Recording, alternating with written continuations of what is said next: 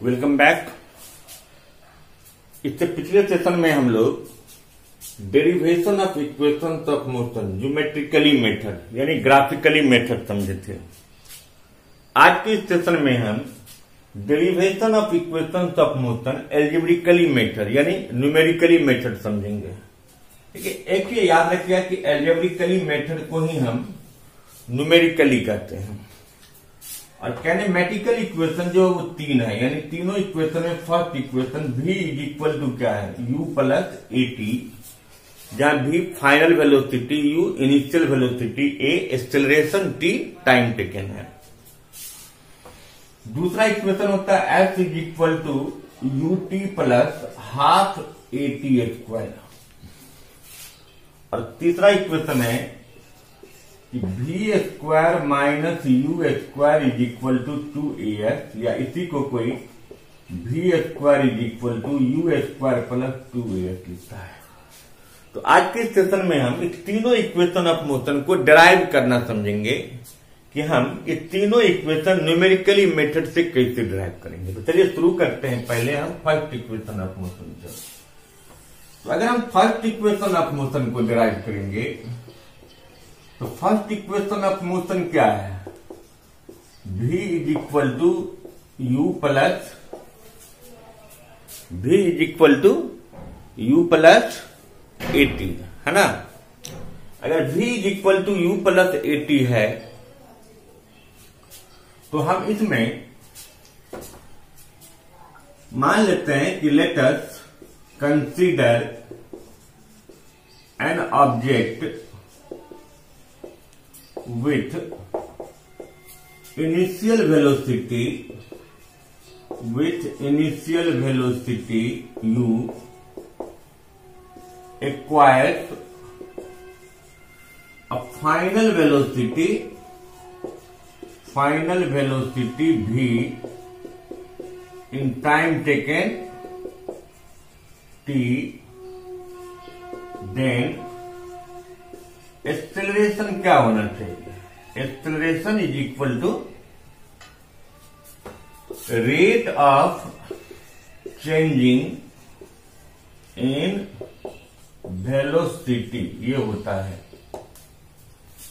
मतलब ये हुआ इसका मतलब कि अभी तक जो ये बोर्ड पर हमने लिखा, इसका मतलब होगा कि अगर कोई ऑब्जेक्ट है और वो अपना वेलोसिटी कुछ समय के बाद एक्वायर करता है, घटाता है या बढ़ाता है। तो कुछ देर के बाद जो उसका वेलोसिटी होता है, वो उसका फाइनल वेलोसिटी यानी भी होगा। और जिस वेलोसिटी से वो अपना जर्नी शुरू किया होगा, वो यू होगा। और यू से भी होने में, यानी इनिशियल वेलोसिटी से फाइनल वेलोसिटी होने में कुछ ना कुछ टाइम टी लगा होगा। तो उस ऑब्जेक्ट में कुछ ना कुछ एक्सलेशन तो बना।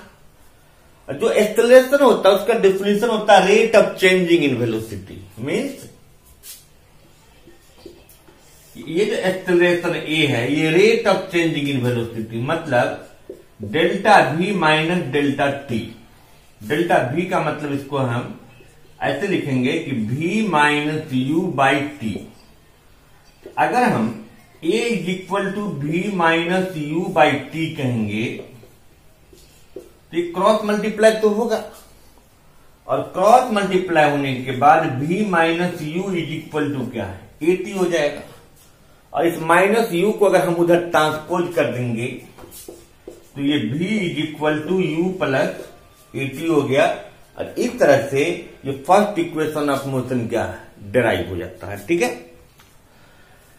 तो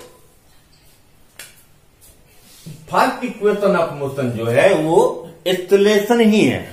और एक्सलेशन टाइम इक्वेशन उसको कहते हैं। ठीक है? यानी वेलोसिटी टाइम इक्वेशन कहते हैं।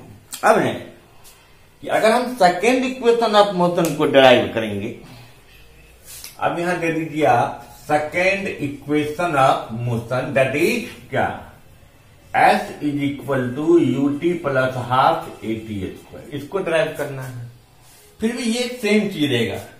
Let us consider an object with initial velocity u acquires a final velocity v in time taken t then,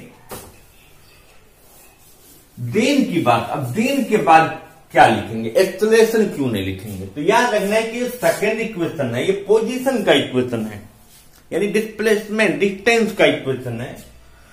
तो अगर कोई भी ऑब्जेक्ट अगर अपना इनिशियल वेलोसिटी यू से भी बनाता है एक्वायर करता है टाइम टेकन टी में, उसके द्वारा डिस्टेंस टेबल कितना होगा? कितना वो डिस्टेंस टेबल किया?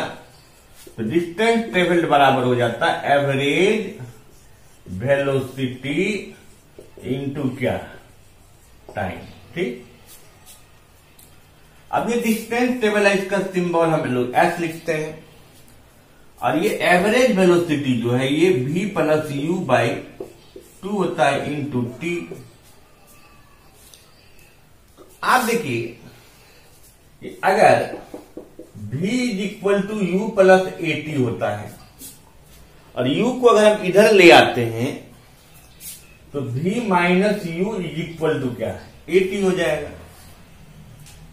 तो अगर हम s is equal to v plus u by two into t लिखते हैं। तो v का वैल्यू क्या है बताइए? यू प्लस ए टी तो हम इस v के जगह पर क्या लिख सकते हैं? U plus a t plus u into t by क्या?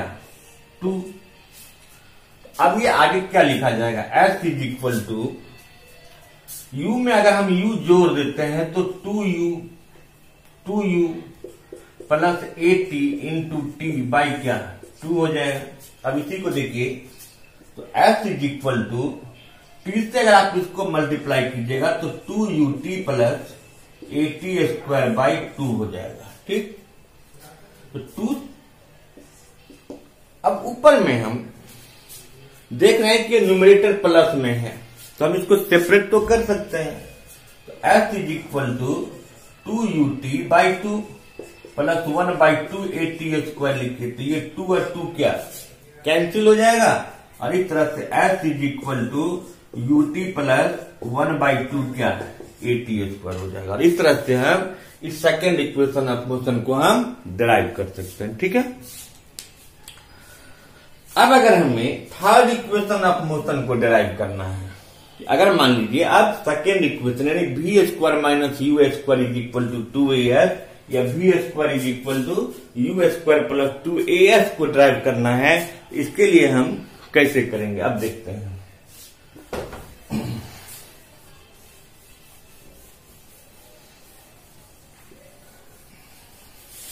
ठीक है, अब इसको भी ड्राइव करने के लिए एक चीज़ देखते होंगे कि बस हम थोड़ा सा इसी में एडिट कर लेते हैं। Third equation of motion that is क्या? V square minus u square is equal to two a drive करना है आपको। तो सेम चीज़ आएगा कि लेटेस्ट कंसिडर एन ऑब्जेक्ट जिसका इनिशियल वेलोसिटी यू है। कुछ समय के बाद उसका फाइनल वेलोसिटी भी होता है इन टाइम टेकन टी तो उस पीरियड में उसका डिस्टेंस टेबल एवरेज वेलोसिटी इंटू टाइम होगा। और डिस्टेंस टेबल का सिंबल फिर s is equal to v plus u by two into t दे देंगे। अगर हम s is equal to v plus u by two into t लिखते हैं तो आप यहाँ ध्यान दीजिए कि v is equal to u plus a है v minus u is equal to a है तो फिर v minus u by a बराबर क्या हो जाएगा t? तो यहाँ जो t है हम t के जगह पर क्या लिख सकते हैं? V minus u by a या रीजन आप देख सकते हो कि सेंस t बराबर क्या v minus u by a होता है। अब फिर देखिए एस इज़ इक्वल टू क्या मिला है हमको? V plus u by two into v minus u by a s is equal to ऊपर में a plus b into a minus b है। और हम जानते हैं कि a plus b into a minus b क्या होता है? ए स्क्वायर माइनस बी यानी b plus u into v minus u v square minus u square by क्या? टू ए तो v square minus u square इसको क्रॉस मल्टीप्लाई कर देते हैं। तो क्या बन जाएगा ये? टू ए और ये जो आया यही क्या है? थर्ड इक्वेशन ऑफ़ मोशन है। और इस तरह से हम थर्ड इक्वेशन ऑफ़ मोशन को तो तीनों इक्वेशन ऑफ़ मोशन में एल्जिब्रिकली में देखें कि ये जो ऊपर में जो इन्फॉर्मेशन लिखे वो सेम ही था। खाली फ़र्स्ट इक्वेशन में एक्सलेशन बना। क्यों बना? सेकेंड इक्वेशन में बस v का वैल्यू डाले थे हम। थर्ड इक्वेशन में t का वैल्यू डाले थे। अब यहाँ एक क्वेश्चन आता है कि ये हम कैसे समझेंगे कि किसको कहाँ डालना है? तो देखिए, इसके लिए आपको याद रखना पड़ेगा कि जो फ़र्स्ट इक्वेशन ऑफ़ मोशन है, ये एक्सेलरेशन टाइम इक्वेशन है। ये एक्सेलरेशन टाइम इक्वेशन है, इसलिए हम इसको एक्सेलरेशन पर निकालते हैं। सेकेंड इक्वेशन जो है, वो पोजीशन टाइम इक्वेशन है। इसलिए हम पोजीशन मतलब डिस्टेंस को रखे थे टाइम को रखे थे और भी का वैल्यू पुट कर दिए थे। ये थर्ड इक्वेशन है, ये पोजीशन और वेलोसिटी इक्वेशन है, इसमें वेलोसिटी को रखना था, इसलिए टाइम को इलिमिनेट यानी टी का वैल्यू डाला गया। क्लियर हो गया? चलिए इसी में तो हम इस तीन तरीके से, तीनों इक्वेशन को, ये पिछले सेशन में हमने देखा कि हम ज्योमेट्रिकली मेथड से सॉल्व कर सकते हैं। इस सेशन में हम देखे कि न्यूमेरिकली मेथड से हम इसको क्या सॉल्व कर सकते हैं। इस तरह से इस इक्वेशन को सॉल्व कर देंगे ड्राइव कर देंगे। अब आप कहेंगे, इस इक्वेशन का क्या फ़ायदा होता है? तो जो हम लोग न्यूमेरिकल प्रॉब्लम बनाते हैं, वो न्यूमेरिकल प्रॉब्लम बनाने में यही इक्वेशन ऑफ़ मोशन जो है, जो हमको कैनेमेटिक्स के प्रॉब्लम को सॉल्व करने में हेल्प करता है। इसलिए हम इसको अगर अच्छे से समझ जाएँगे तो फिर हम किसी भी न्यूमेरिकल प्रॉब्लम को, जो कैनेमेटिक्स से इन्वॉल्व होगा, उसको हम सॉल्व कर सकते हैं। तो तीनों इक्वेशन आप समझ गए। फ़र्स्ट इक्वेशन को फिर मैं बस छोटा सा ब्रीफ कर देता हूँ। फ़र्स्ट इक्वेशन का नाम acceleration time equation is v is equal to u plus a t second equation का नाम पोजिशन टाइम इक्वेशन यानी s is equal to u t plus half a t square third equation का नाम position velocity equation v square minus u square is equal to two air जहाँ तक इस तीनों equation में जितने भी सिंबल यूज़ हुए।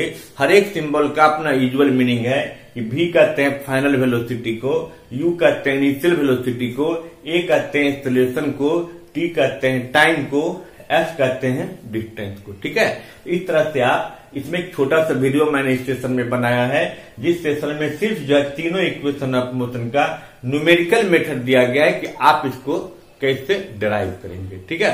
फिर अगले सेशन में इसके बाद का फिर बताएँगे। Thank you